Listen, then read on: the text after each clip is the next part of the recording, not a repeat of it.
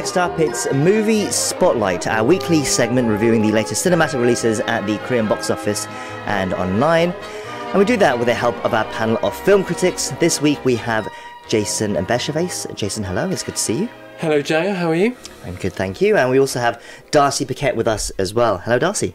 Happy to be here. Okay, so today we'll just be reviewing one film and then having a bit of a Oscars wrap up as well, so a little different from usual.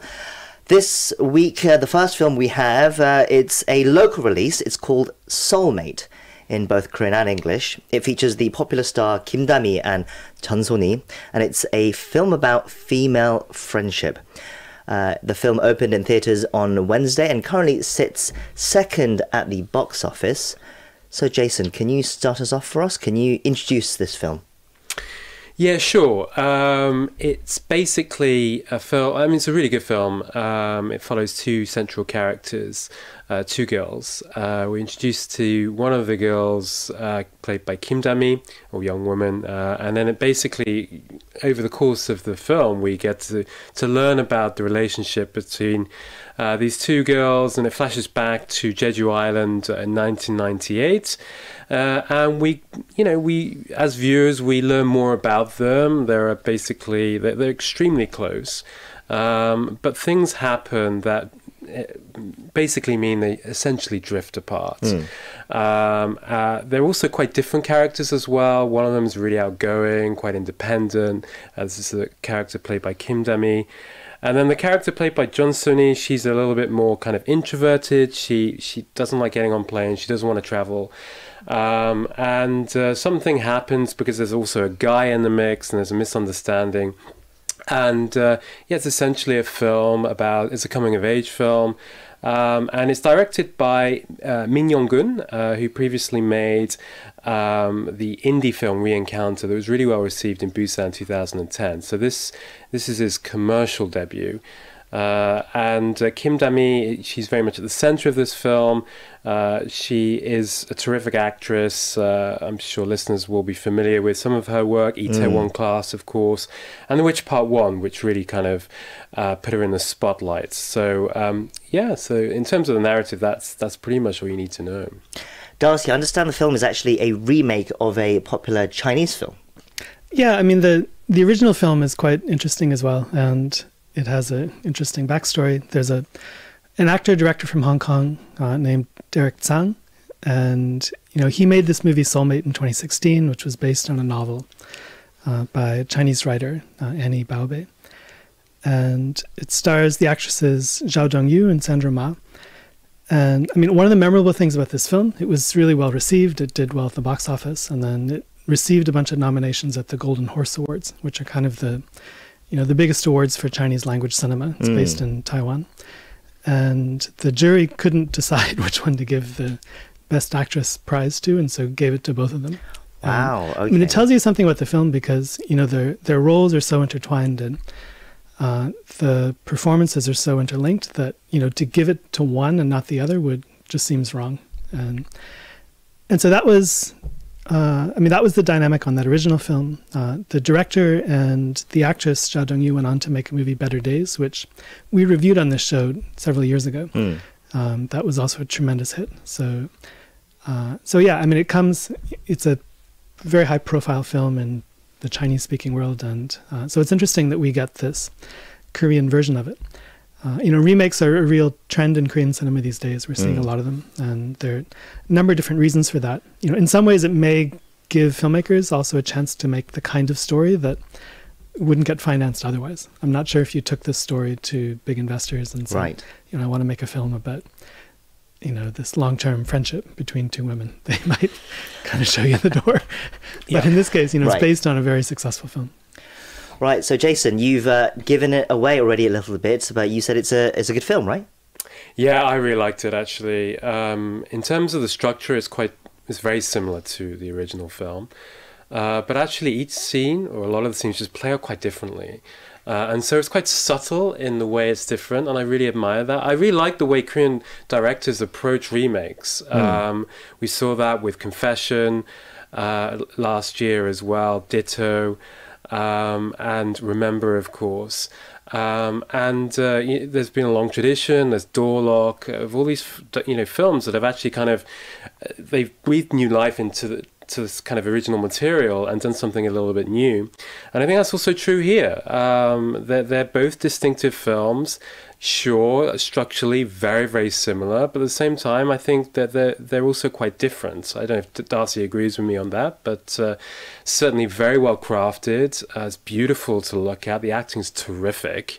Uh, I love the two leads, and um, yeah, no, I, I really liked it. I was really engaged. It's quite long, but actually, uh, it kind of races by. A really two really interesting female characters. We don't get to see that a lot these days, mm. although we are seeing more of it, but certainly not enough, you know, of these female-centered films. And this, I think, really does shed uh, light on some of the, you know, the issues facing women. And uh, yeah, I give it my thumbs up. Okay, so Jason, there, thumbs up. Darcy, what about you?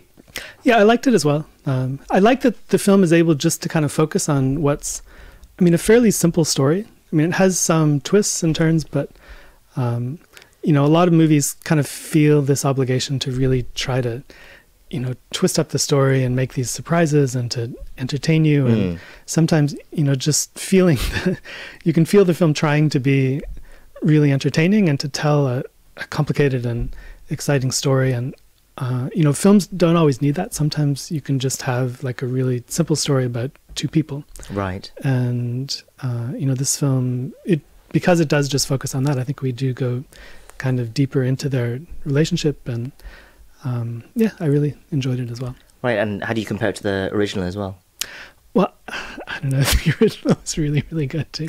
yeah, they're, they're, both good films. I saw them both this week, actually, on the same day, and right, they're, okay, both they're both very good. Um, actually, I'm not sure which one I prefer. I think just because the original was so popular in Korea, I think you know there will be those who will sure. say whether the original is is, is better. But uh, actually, I, I think, uh, like I said earlier, they're they're both quite unique in their own way, and that's what I liked about both of them. So, generally, a positive review from both our critics for Soulmate, which is out now in Korean cinemas.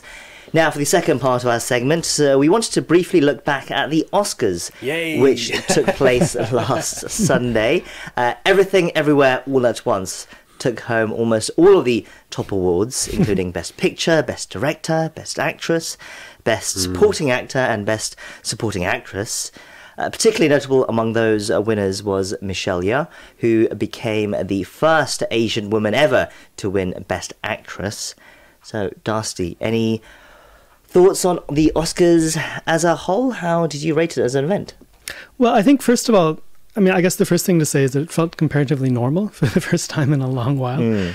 And, you know, after Parasite won in 2020, you know, the pandemic just kind of upended the ceremony and you know, they tried to to cope with it in different ways, and you know, they brought in Steven Soderbergh that year to try to, you know, do something different with the Oscars, and it got mixed reception. And last year we thought we were returning to normal, and then Will Smith strode on stage, right, and it's kind of upstaged the whole event. And so, yeah, I mean, this year I think people really appreciated the fact that it was kind of a familiar, traditional sort of Oscars. There were no really unexpected you know, shocking developments. Uh, the only thing that went over really badly was the decision to replace the red carpet with a champagne-colored carpet. Yeah, that was really weird. you know, in all the pictures, it looks like kind of dirty office carpeting or something, and all the the actors, their dresses are all washed out, and it. right. Okay. So universal ban on the champagne carpet. But. Well, if that's the biggest criticism, I guess it was a fairly successful event this year. Then, but uh, perhaps they will bring back the red carpet next year. Uh, Jason, everything everywhere all at once. It's quite extraordinary the number of awards it won. How significant was it to you, do you think, though? Because it is significant in so many ways, isn't it? Oh, absolutely. Um, certainly for Asian uh, representation. The fact actually also that it's a genre movie, kind of similar to, to Parasite. And it premiered at South by Southwest Festival like almost a year before practically yeah a whole year before the festival so been around a while a kind of a wacky movie entertaining film this is not normally the movie that kind of voters go for Uh, and so it's significant uh, for that. And uh, I think in some ways it's kind of followed the success of Parasite. Um, I think they really, I mean, you just look at the, you know, the entire cast and directors. So the directors are really young. Um, and I think it, it was reflecting, I, I think perhaps a shift in, in the Academy, uh, in the films they vote for. Mm. And I think the wider changes in the film industry, sure, I mean, Netflix have had their moment and they, they still did pretty well, all quiet on the Western Front, did very well in the craft categories. Um, they still have yet to win Best Picture. And last year, of course, uh, it was Coda with Apple. Uh, but I think, uh, you know, if we have time, we'll talk about A24. I think we're seeing these smaller studios uh, doing very well at the Oscars. Uh, Neon is another one with Parasite. So uh, I think it was a very well received ceremony, as, as Darcy mentioned, you know, back to normal. Um, and, but but yeah, I mean, everything, everywhere, all at once is not a normal film. Mm. it's not a conventional movie. It's a very good film, uh, but I think it's taking the Academy in a really interesting direction, and I'm up for that, and I think a lot of people are too. Yeah, it's a big win for relatively small independent film, right? Uh, as you said, uh, as Jason noted, this is another film by the distributor A24 as well, which has really been making waves in recent years. And in fact, at this year's Oscars as well, uh, The Whale uh, was yes. also from A24 yep. as yes. well. And uh, the best actor in that film went to, the best actor award went to Brendan Fraser in that film as well. What do you think it says about filmmaking in the US these days? Well, I mean, it is. Um, it is very different than it used to be because you know the studios used to have these specialty divisions and it was sort of like they'd make their major films and then they'd have these divisions that would focus on you know kind of i don't know quality entertainment or you know the kind of films that would get recognized at the oscars. And you know i think probably it was you know netflix and ott coming in that kind of changed a lot of things.